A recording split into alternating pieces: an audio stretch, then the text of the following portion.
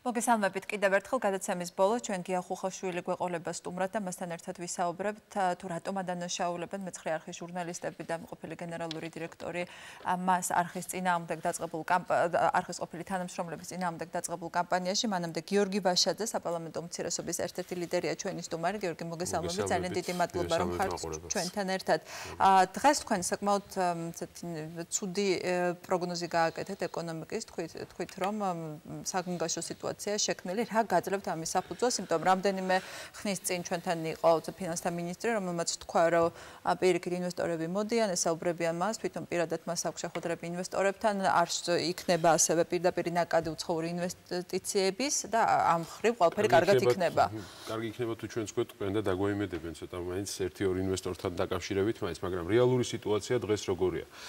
ეკონომიკური ზრდა შეჩერებულია არჩევნების შემდეგ რეალურად გადასახადების ამოღება შეჩერებულია დაღეგეს ბრუნვები დაკლებულია კატასტროფულად საბანკო სექტორში ფულის ბრუნვა არის შემცირებული ძალიან სერიოზულად.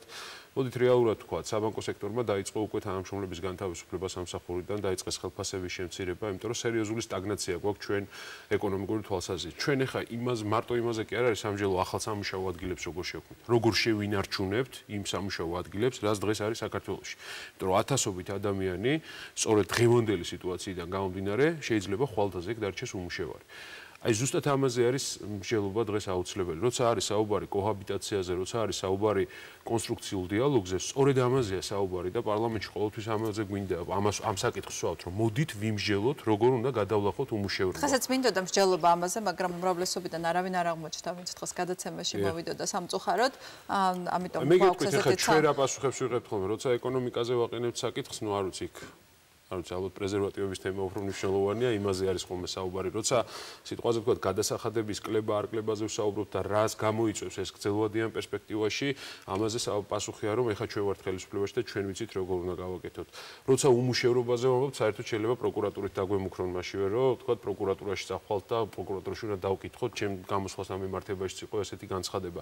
მაშინ როცა მე აქვე მინდა ვთქვა, რომ ვთქვათ იგივე პარლამენტის თავმჯდომარის ძალიან სწორი, ასე ვთქვათ, პოზიცია იყო ჩემ გამოსვლასთან დაკავშირებით, რომელიც გადასახადებზე იყო, რომ საკმაოდ საქმიანია და წინადადება, რომელიც საჭიროებს განხილვას. მე იმედი მაქვს, რომ დღეს თუ ხვალ ჩვენ გადავალთ ნორმალურ განხილვის პროცესში. მე მესმის, რომ ადამიანებს ახლა წარმოქმნა სხვანაირი ქონდათ რეალური სიტუაცია სახელმწიფოში სხვანაირია, სხვანაირად ხდება ქვეყნის მართვა, ვიდრე წარმოედგინათ. ნელ-ნელა მიმდინარეობს სტერეოტიპების ნგრევაც, დაწყებული დენის ტარიფიდან, გაზის ტარიფი, ბენზინის ტარიფი და ასე შემდეგ. ეს ყველაფერი მიმდინარეობს ზოგადად ქვეყანაში, მაგრამ თავარია ვიმჟელოთ. აი მაგალითისთვის გეტყვით, საშემოსავლო გადასახადი, რომელიც უნდა შემცირებულიყო მომავალი წლიდან და დაახლოებით 200 მილიონი უნდა დარჩენილიყო თითოეულ ოჯახში, თქვენთან, ჩვენთან, ადამიანთან, ვისაც ხელფასი აქვს თუ საშემოსავლო გადასახადს იხდის, ეს აღარ მოხდება მომავალ წელს. ამის ნაცვლად შემოტანილი არის დაუბეგრავი მინიმუმი. რომელიც რეალურად მომავალ წელს არც ერთი თეთრის დაბრუნებას არც ერთი ოჯახისთვის არ ითვალისწინებს. გარდა ამის, ეს არის ჩრდილოვანი ეკონომიკის ასე ვთქვათ, განსაზღვრული ერთ-ერთი მაჩვენებელი. სხვა შორის დღეს სოროსის ფონდის მიერ დაფინანსებული ერთ-ერთი ასე ვთქვათ ინსტიტუტის კვლევაზე ვიყავით რადისონში, რომელმაც ახალი ბიუჯეტი შეისწავლა და მათაც იგივე დასკვნა აქვთ, რომ დაუბეგრავი მინიმუმი ამ შემთხვევაში აბსოლუტურად არც სოციალურ ეფექტს არ გვაძლევთ, იმიტომ რომ ეს არის დაახლოებით დღეში 98 თეთრი, რომელზეც ჩვენ საუბრობთ. ამ შემთხვევაში და მეორე, არც ეკონომიკურ სტიმულირებას ახდენს, რომ ახალი სამუშაოები შეიქმნას, არც შემოსავალზე რამე კონკრეტულ ზეგავლენას ახდენს და რაც თავარია, ადამიანი უნდა ელოდოს 15 თვე, ანუ წელიწად ნახევრადი თითქმის, რომ დაიბრუნოს ეს თანხა უკან. მე კიდე ბიუროკრატიული ბარიერებია თვითონ გათვლილი აქვს რომ დაახლოებით 25% 20% არ დაიბრუნებს ამ გადასახადს უკან.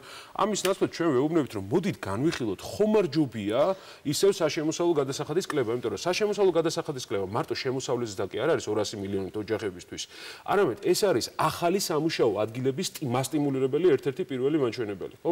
აი ცოტა გზელვადიანად თუ არ შევხედეთ სიტუაციას მართლა ძალიან სერიოზული კრიზისში კი ბატონო სანამ საპარლამენტო ცხოვრებაზე ვისაუბრებთ მე მინდა გკითხოთ, რადგან დავიწყეთ ეკონომიკით, რომ ინვესტიციები რაც არის თავარი ინექცია ეკონომიკისთვის, შეჩერებული ამას ყველა, თქვათ, სხვადასხვა საერთაშორისო ორგანიზაციებიც ამბობენ, რადგან არის გაურკვევლობა, პოლიტიკური დაძაბულობა და ამ დაძაბულობის გამო, რაც მომავალი ბუნდოვნად ჩანს და ასეთ არაპროგნოზირებად გარემოში მით უმეტეს სოფლიოში შექმნილ ვითარებიდან გამომდინარე ინვესტორის მოზიდვა ისედაც ნელია მით უმეტეს გართულებულია. თქვენი ოპონენტები გადანაშაულებენ იმაში, რომ ამ დაძაბულობას თქვენ ქმნით ხელოვნურად, რომ ხართ დესტრუქციულები და იმ ნებისმიერ თქვათ დაჭერას, რომელიც რომელსაც ხელისუფლება არქმევს სამართლიანობის აღდგენას, თქვენ არქმევთ პოლიტიკურ დევნას. პირველ პირველ რიგში მე რა მინდა ვთქვა რა, ჩვენ არათუ დესტრუქციულები არ ვართ. კიდევ ერთხელ ვამბობ, ჩვენ გვაქვს ძალიან კონკრეტული წინადადებები, როგორ დავასაქმოთ მეტი ადამიანი, როგორ გავზარდოთ შემოსავალი, როგორ მოვიზიდოთ ინვესტიციები. მე ვფიქრობ, ყველაზე დიდი დარტყმა ინვესტიციებთან დაკავშირებით ეს იყო ხელისუფლების განცხადებები კრიმინალის ზრდასთან დაკავშირებით, ეს იყო ხელისუფლების განცხადებები თუნდაც იმაზე, რომ რაღაც ინვესტიცია ხდება, მიჩქმალური ინვესტიცია თურმე თბილისის ზღვაზე. მე პირადად გეტყვით, რომ ეს იყო ისნელებისთვის და მთელი თბილისისთვის უზარმაზარი შემოსავლის შესაძლებლობა. ასეულობით მილიონი იდებოდა ამ პროექტში 600 მილიონი ჯერ. ეს არის საუბარი ოლიმპიურ ქალაქს, ეს არის ბიზნეს სავაჭრო ცენტრზე უზარმაზაზე, რომელიც მთელ რეგიონზე იყო გათვლილი ჩtildeოეთ კავკასია, სომხეთი, აზერბაიჯანი, თურქეთი და სამი ministri მიდის პრემიერ-მინისტრად, რომ თურმე ჩინელების ჩამოსახლებას აპირებდნენ და რა სასწაული და რა კატასტროფაა ეს პროექტი. ჯერ ხო შეიძლება რომ გაეცნონ ამ პროექტს და მეરે გააკეთონ განცხადებები. მე დარწმუნებული ვარ, რომ ეს განცხადებები სწორედ მოქმედებს ახლა. წარმოიდგინეთ იმ ინვესტორმა რა უნდა იფიქროს, როცა ასეთი განცხადებები არის ხელისუფლების მხრიდან. ის რა თქმა უნდა საფრთხეზე წარმოიდგენს. მეორე ყველაზე მნიშვნელოვანი, უცხოური ინვესტიცია როგორ შემოვა ქვეყანაში, როცა მთელი საერთაშორისო საზოგადოება ეუბნება ქვეყნის ხელისუფლებას, რომ რაღაც შენქმედებებში არის არასწორი. იქნებ დაფიქრდე, იქნებ გადახედო ამ ქმედებებს, ხო? რასაც შენ ახორციელებ. რა თქმა უნდა, ეხა რომელი მსხვილი ინვესტორი შემოვა საქართველოში, როცა რასმუსენს ჩვენ ვაბრალებთ, რომ კანდელაკმა ყურში უჩურჩულა და იმიტომ თქვა რაღაცა, ხო? სიტყვაზე თქვა. ან რომელი უცხოური ინვესტორი შემოვა, როცა ჰილარი კლინტონის განცხადებას არ არ უყურებ ჩვენ და არ ვაქცევთ ყურადღებას. რომელი უცხოური ინვესტორი შემოვა, როცა ევროკავშირის ლიდერებს არავის ჩვენ ყურადღებას არ ვაქცევთ და არავის განცხადებას არ ვიზიარებთ. ამიტომ კიდევ ერთხელ ვთქვათ, რომ არა ის რომ პარლამენტში ვთქვათ ჩვენ რეაგ რეაგირებას ვახდენთ. ეხლა მოდით ისიც ვთქვათ, რატო ხდება დაჭერები? რატო ხდება აბსურდული დაჭერები, ხო?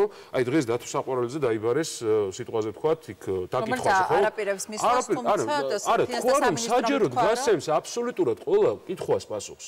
მაგრამ არაპირებს მისვლას იქიდან გამომდინარე, რომ ეხლა ჩვენ რაში ვითამაშოთ, რომ საზოგადოების ყურადღება გადავრთოთ სამჯერ, ოთხჯერ დათო საყვარელიძე დაიბარონ დაკითხვაზე, ეს იყოს განხილვის თემა თუ ის იყოს განხილვის თემა, რომ ეკონომიკურად კოლაფსში შედის საერთოდ ქვეყანა. რომელზე ვისაუბროთ? ვისაუბროთ. იმაზე ვისაუბროთ, რომ ადამიანებს შემოსავალი კი არ გაეძდებათ, შეუმცირდებათ მომავალ წელს, თუ იმაზე ვისაუბროთ ჩვენ, რომ რაღაცა აბსურდული მიწის კომისიაში 2005 წელს დათო საყვარელიძე რო იყო თანამდებობრივად კომისიის წევრი, რაღაცაში იღებდა მონაწილეობას თუნდაც რაღაც გადაწყვეტილებაში. ეს ხო არის ძალით მოტანილი თემები, იგივე ავიღოთ გოგა ხაჩიძის თემა. იგივე ავიღოთ, იგივე თქვა შინაგანსაკუთრების სამინისტროს გენინსპექციის უფროსის თემა, ხო? ეხლა ჩემთვის პოლიტიკური დევნა რა არის? როცა ადამიანს აირჩევ და ამ ადამიანს ერთხელ, ორჯერ, სამჯერ მიიყვან სასამართლოში, ოღონდ კი რამე დანაშაული დაუმტკიცო, ხო? ეს არის ჩემთვის პოლიტიკური დევნა. მეორე მხრივ, რა თქმა უნდა, საზოგადოებაში არის კითხვები გარკვეულ საქმეებთან დაკავშირებით და ამ საქმეების სრულყოფილი გამოძიება უნდა მოხდეს. აუცილებლად უნდა მოხდეს. ამას პირდაპირ ვაცხადებ. მაგრამ კიდევ ერთხელ ვთქვი, როგორ როგორ როდი სიტყვით, რომ აი ეს არის თემა, მაგალითად, აქამდე დაწყებულ გამოძიებებზე, რომელზე შეგიძლიათ თქვათ, რომ აი ეს არის თემა, რომელიც ახალ ხელისუფლებას ხმებას ნამდვილად უნდა დაეწყო. მაგალითისთვის გეტყვით იგივე რობაქიძის თემა. მე პირდაპირ გეტყვით, რომ აუცილებლად ეს უნდა გამოძიებულიყო და რა მნიშვნელობა აქვს მე ვიქნებოდი უმცირესობაში თუ უმრავლესობაში, ჩვენ ვაპირებდით ამ საკითხების დაყენებას, რომ ამ საკითხებისთვის უნდა გადაგვეხედა, მაგრამ მე გეტყვით იგივე რომ უნდა გამოძიებული ყოფილიყო თუ არა ახალაიას თემა, რომელიც რომლის მიმართაც ეჭვები არსებობდა და ეს ეჭვები თუ ეჭვი არსებობს, უნდა გამოვიძიოთ. კიდევ ერთხელ ვამბობ, თუ ეჭვი არსებობს, უნდა გამოვიძიოთ, რა თქმა უნდა. მაგრამ ეხლა გოგა ხაჩიძის თემაზე რა ვთქვათ? სახში შევარდნენ დილის 6 საათზე გადახდნენ ღობეზე რაღაცა შობლების სახში. რა მნიშვნელობა აქვს ეხა იგივე არა არა შობლების სახში. რატო? იმიტომ რომ პირადად ვიღაცას არ მოეწონა ადამიანი რა მოსაზრებას გამოხატავს და თქვა სოციალურ მედიაში რომ აქტიურია. ამას უკავშირებთ პირდაპირ ხაჩიძის კრიტიკულ შეფასებებს ძალიან შეიძლება დაუკავშიროთ. Facebook-ზე ის ძალიან ესეთი ყველაზე მეტი აქტიურობით გამოირჩევა თქვენი გუნდიდან. და მეტი რა შეიძლება დაუკავშიროთ? თქვენს კრიტიკული ხართ, შეიძლება თქვენ ფიქრობთ, რომ შეიძლება თქვენ ნუ არ ვიცი ხა შეიძლება, იმიტომ რომ მე უმუშევრობის პრობლემას ვსაუბრობ, ხალმეს დამიბარო პროკურატურაში, მაგრამ კიდე ერთხელ ვამბობ, ხა თუ ჩემი დანაშაული იუსტიციის სახლის აშენება, რომელიც ბევრს არ მოსწონს და ბევრს მოსწონს, მე მზად ვარ პასუხი ვაგო ამაზე, თუ არის იუსტიციის სახლის შეცდომა ზოგადად ამ ქვეყნის და ამ ქვეყნის პროექტის. მზად ვარ პასუხი ვაგო, ხმამაღლა ვამბობ. ეს არქიტექტურული ეს მე მე შორის იუსტიციის სახლზე არქიტექტურულად არ არის კრიტიკა, სხვა პროექტებზე არის. სხვა პროექტი, აბა რა თვალსაზრისით არის იუსტიციის? არა, ნუ არ ვიცი ხა თუ არ ვიცი მე ამ პროექტზე მუშაობდი, ამ საკითხებზე მუშაობდი, არის კრიტიკა, რომ თქვა ეს არ უნდა გაკეთებულიყო ეს პროექტი, თუ ფიქრობენ რომ ეს არის გამოსაძებელი, კი ბატონო. ზადვარ ამაზეც პასუხი გავცე, მაგრამ კიდევ ერთხელ ვამბობ. ჩვენ რაზე ვისაუბროთ დღეს რომ ადამიანს რომელსაც უჭირს უნდა კონდეს შემოსავალი კონკრეტული? თუ ანუ უნდა დავეხმაროთ რამენაირად? თუ ვისაუბროთ იმაზე ვინ ვისთან არის ასე თქვა პიროვნულად განაწყენებული და ასე შემდეგ. იქ რაღაცა ქურთის თუ ერედვის თემის თანამშრომლები დააკავეს იმ დღეს. რაღაც აი მართლა ცოტა არარეალურ რეჟიმში გადავდივართ. ამიტომ არის რომ პოლიტიკურ დევნაზეა საუბარი და ამიტომ რომ პოლიტიკურ დევნაზე ჩვენ კი არ ვლაპარაკობთ, თელი მსოფლიო ვლაპარაკობს. მე ძალიან კარგად მესმის რომ სამართლიანობა არის ძალიან შეფარდებითი პრინციპი, ხო? ეხლა ჩემთვის რაც სამართლიანია, შეიძლება თქვენთვის სამართლიანი არ არის იგივე რა, მაგრამ ჩვენ რაღაცას ხო უნდა დაუჯეროთ არა, რაც ეხლა პირად ასე ვთქვათ, ბოღმებს და პირად რაღაცა გულის ტკენას და თუ პირად დამოკიდებულებით არ უნდა გადავწყვიტოთ, რომ რა არის სამართლიანი, რა არის უსამართლო.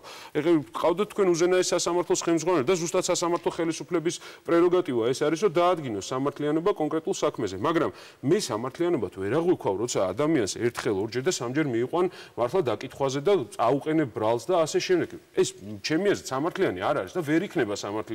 ვერც ერთ შემთხვევაში მით უმეტეს, რომ იქვე აი ავიღოთ იგივე ეს საქმე, იქვე მეორე მხრივ ხო შეიძლებოდა რომ იგივე გამოძებას გამოეძია ვინ ჩაუდო იარაღი, ვინ დაალევინა ნარკოტიკი იმისთვის რომ პასუხისგებაში მიეცეს. კუნავა შემთხვევაში აი სად არის გამოძიება? მოთ აი სამართლიანობაზე ვისაუბროთ, სად არის ამის გამოძიება?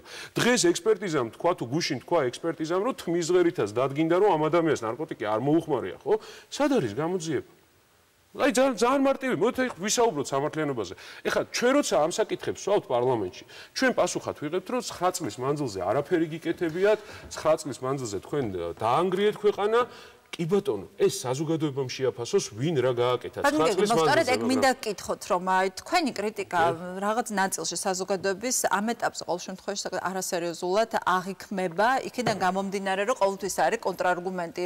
აი თქვენ დროს როცა დაკავებებზე საუბრობთ, მაშინდელ დაკავებებს რატო არ იხსენებთ, ხო, რატო გაქვთ ორმაგი სტანდარტი, როდესაც დღევანდელ სიტუაციას აფასებთ? ამიტომ ეს რაღაც პრობლემას ქმნის თქვენთვის, როგორც საზოგადოების თან ურთიერთობაში, ისე თქვა თქვენ ოპონენტებთან ურთიერთობაში. მოდი თუ პირველ რიგში ესე თქვა, თუ ეს პრობლემა იყო წარსულში, ეს არ ნიშნავს, რომ დღესაც იგივე შეცდომა უნდა დაუშვა და დღესაც იგივე უნდა გაიმეორო, მაინც და მაინც იმის საპასუხოდ. ეს ერთი საკითხი.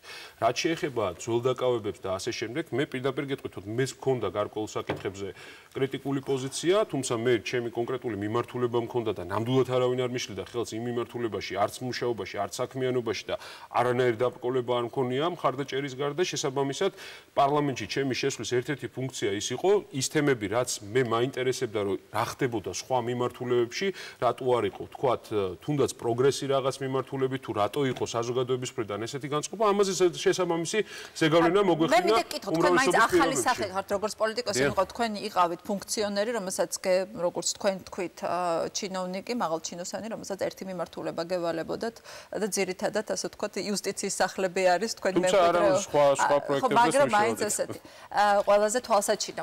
მაინტერესებს და თქვენ თქვით რომ ბევრი რაღაცა თქვენც არ მოგწონდათ. არის თუ არა ძალიან მნიშვნელოვანი დღეს ნაციონალურმა მოძრაობამ ისაუბრებს შეცდომებზე რომელიც დაუშვა? გასაგებია რომ შეცდომის garaშე შეცდომებს არა მხოლოდ ესე გამოუცდელი რა რევოლუციის ტალღაზე მოსული ხელისუფლებები უშვებენ არამედ სხვა უფრო გამოცდილი სხვა უფრო დემოკრატიული მაგრამ ხალხს აღიზიანებს ის რომ ნაციონალური მოძრაობა დღეს არ საუბრობს იმ შეცდომებზე რადგან შეცდომებზე არ საუბარი ნიშნავს იმას, რომ ისინი ან არაცნობიერებენ, ან არ უნდა დაღიარება და იმის გარანტიას, რომ შესაძლოა მომავალშიც იგივე შეცდომები იქნას დაშვებული. აი, მოდით ესე ვთქვათ, ჩვენ ნაციონალურ მოძრაობაში სწორედ ამ საქმიანობით ვართ ახლა დაკავებული, დღესაც ძალიან ინტენსიური განხილვები და შეხვედრები გქონდა ყველა იმ ნაბიჯთან დაკავშირებით, რაც ხელისუფლებამ გადადგა გასული 9 წლის მანძილზე. სად იყო პრობლემა გარკვეული მიმართულებით, სად რა გაეპარა ხელისუფლებას და ვერ მიაქცია სათანადო ყურადღება, სად იყო ვთქვათ, გადაცდომა და ასე შემდეგ რომ კარგად გავაანალიზოთ რომ იმიტომ რომ ნამდვილად არ ვფიქრობთ რომ თუნდაც ახალმა ხელისუფლებამ და თუნდაც მომდევნო ხელისუფლებებმა ოდესმე უნდა დაუშვეს ეს შეცდომა და ეს აუცილებელია ჩვენთვის ამისი ანალიზი. ამას ჩვენ ვაკეთებთ ყველაფერს. აი მოდით ავიღოთ მაგალითად ციხის თემა, ხო? ციხესთან დაკავშირებით სიტუაცია როგორია? ქურდული სამყარო აკონტროლებდა ციხის სისტემას და ამის სანაცვლოდ თქვათ ქურდული სამყარო ჩანაცვლა და ადმინისტრაციული კონტროლი დაწესდა თქვათ იგივე ციხის თემებს, ციხის საკითხზე. მე ვფიქრობ რომ იყო გარკვეული გადაცდომები და სერიოზული გადაცდომები გადაცდომები და ეს თუნდაც ხელისუფლებაში ყოფნის დროს ნაციონალური მოძრაობის ხელისუფლებამ თქვა იმ კუთხით, რომ ვერ მოხდა კონტროლი ამ სისტემის ისე, რომ არ მოხდა არ მოხდარიყო მართლაც სადისტური ფაქტები და არ არ ყოფილიყო სისტემური, ასე ვთქვათ, უფლებ ადამიანის უფლებების დარღვევა თვითონ ციხეში, მაგრამ ეს არც ერთ შემთხვევაში არ ნიშნავს იმას, რომ ეხა უკან დავაბრუნოთ ისევ ქურდული სამყარო და დავაბრუნოთ ის პერიოდი, როცა მე და რა ქვია, ციხიდან გვირეკავდნენ, რომ მობილურზე ჩამირიცხე ანგარიში და რაღაცა ოჯახი ოჯახებს უტერორებდნენ ადამიანებს, რაღაც ძალით კარც ათამაშებდნენ, რომ მე ოჯახის წევრს ფული მოეტანა ციხეში. ეს არც ნამდვილად არ ნიშნავს ეხლა, რომ ჩვენ იქ უნდა დავბრუნდეთ იმ წარსულში, ხო? ამიტომ რა თქმა უნდა იყო აქ პრობლემები და ამის ანალიზს ჩვენ ვაკეთებთ.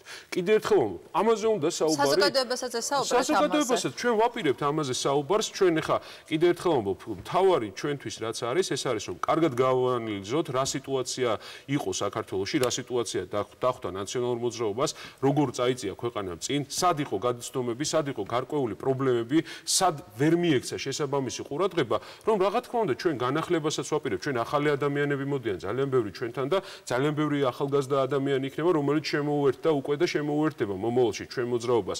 და რა თქმა უნდა ამ კუთხით განახლებას ვაპირებთ და რაც მთავარია ის კვალიფიკაცია, რაც ჩვენ მივიღეთ ძალიან მნიშვნელოვანი კვალიფიკაცია, გვინდა რომ ისევ ჩვენი ქვეყნის განვითარებისთვის გამოვიყენოთ, მაგრამ მთავარი და ყველაზე მნიშვნელოვანი იცით რა მინდა ვთქვა რომ ჩვენ აი მაგალითად ჩვენ რო ვიყოთ ჩასაფრებული ოპოზიცია დღეს. საერთოდ არ ვისაუბრებდით მაგალითად საშემოსავლო გადასახადის კლების პრობლემაზე. ან არ ვისაუბრებდით საჯარო სამართლიანი პაპირების კანონი გამოდიოდა პარლამენტში ამ კანონის სერიოზულ პრობლემაზე რომელიც საფრთხეს უქმნის იმ სისტემების განვითარებას რომელიც მნიშვნელოვნად განვითარდა ქვეყანაში. არ ვისაუბრებდით თუნდაც ამნისტიის შესახებ კანონზე რომელიც საკმაოდ სერიოზულად მოდიფიცირება გაიარა მას შემდეგ რაც ძალიან ინტენსიურად ჩვენ ჩვენი მხრიდან წავიდა კრიტიკა ამ კანონთან მიმართებაში. ჩვენი ინტერესი არის ქვეყნის წარმატება და არა მაინც და მაინც რაღაცა კონკრეტული პოლიტიკური მიზნები. კიდევ ერთხელ, ჩვენ რაც გვამოძრავებს, ეს არის საქართველოს ინტერესი. ჩვენ სწორედ აი ამისთვის ვართ მზარდ, რომ როცა საჭიროა, არა ჩასაფრებულის პოზიციიდან, ეხა მე ჩაუჯდე მაგალითად დაზღვევის სისტემაზე, პირდაპირ გეუბნებით, რომ დაზღვევის სისტემა რაც პირველი თებერვლიდან იქნება, ეს არის ცალსახა ბლეფი, პირდაპირ უნდა ვთქვა.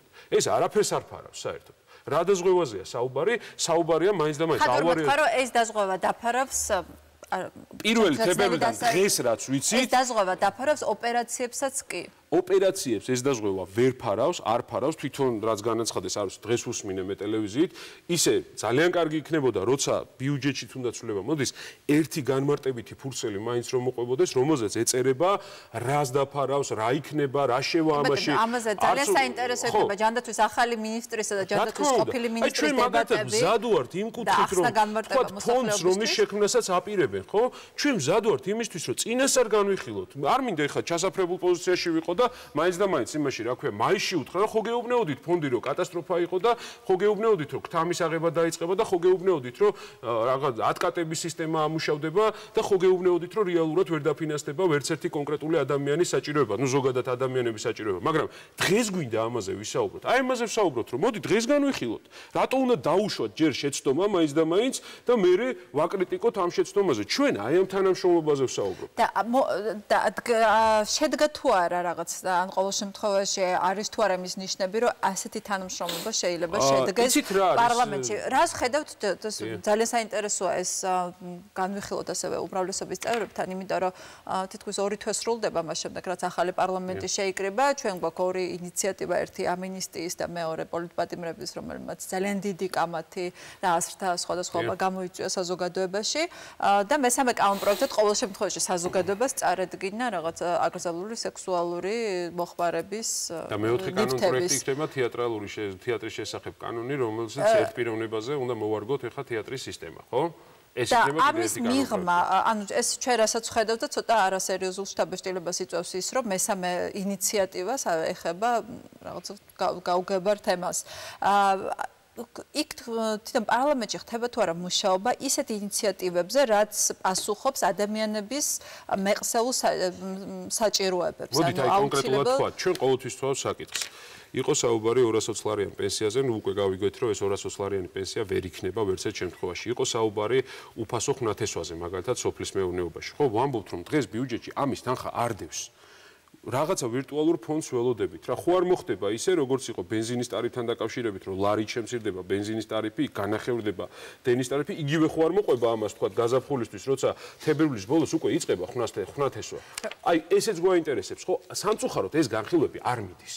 პასუხი არ კომიტეტებში არც კომიტეტებში არ მიდის ეს განხილვები. კიდევ ერთხელ ვამბობ რომ როცა ჩვენ კონკრეტულ საკითხს აი მაგალითად საფინანსო საბიუჯეტო კომიტეტი. გადასახადების შემცირებაზე ვთქვით უარი ხო? ზოგადად გრძელვადიან პერსპექტივაში ეს ნიშნავს, რომ სახელმწიფო აღარაპირებს გადასახადების შემცირებას, რაც ინვესტორებისთვის არის ძალიან უარყოფითი იმიჯი.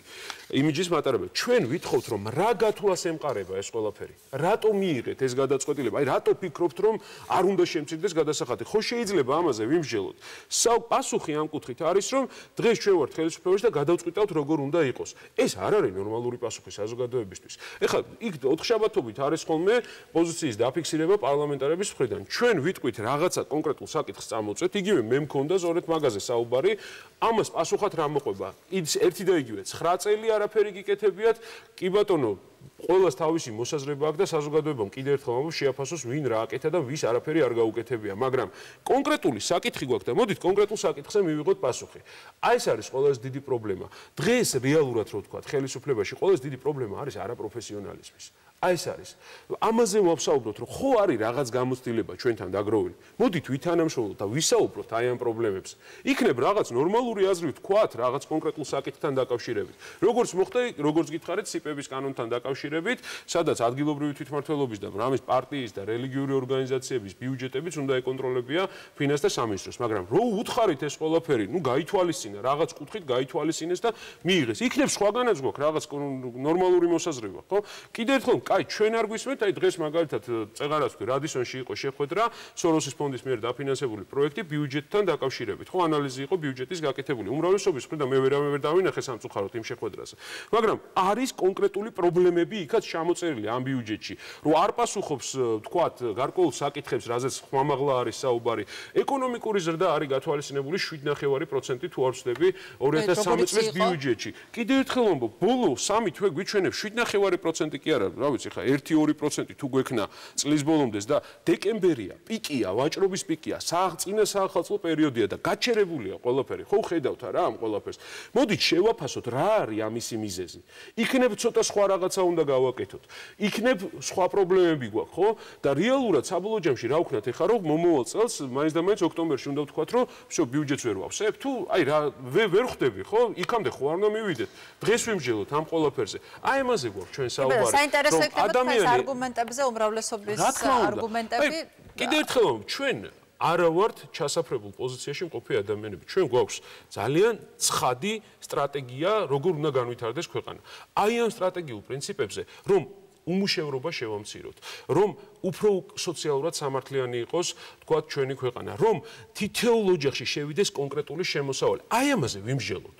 ვიმსჯელოთ ამაზე, უბრალოდ აი ამას ვამბობ და მეტი არა. მოგისმინოთ თქვენი ოპონენტების არგუმენტებიც ამაზე, ძალიან კარგი იქნება თუ მომავალში გვექნება დებატების შესაძლებლობა, ესეთ გაწონასწორებული, აა კონსტრუქციული დებატების. დიდი მადლობა, გიორგი ვაშაძე იყო. ჩვენ გიორგი ვაშაძე იყო ჩვენი სტუმარი, დიდი მადლობა.